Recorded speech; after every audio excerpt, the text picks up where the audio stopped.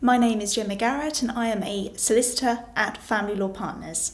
There are a range of financial orders available to parties on divorce, including payment of lump sums, transfer of property, pension sharing, and payment of maintenance. There are a range of different models available to parties in trying to resolve financial matters. They can try and resolve matters directly between themselves. They can seek the assistance of an independent and neutral mediator. They can go through solicitors and use the traditional model of solicitor led negotiation, or a slight variant of that by using what is known as the collaborative model of working. Or if everything else breaks down, the parties always have the ability to make a financial application to the courts.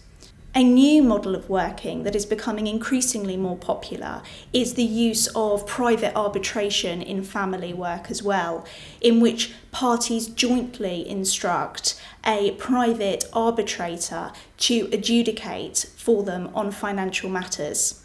With the exception of court proceedings and arbitration, if the parties are able to reach an agreement regarding financial matters by consent, it is always important to have that agreement written up into a legally binding consent order. If you are thinking about getting divorced, it is always worth obtaining some independent legal advice from a specialist family lawyer.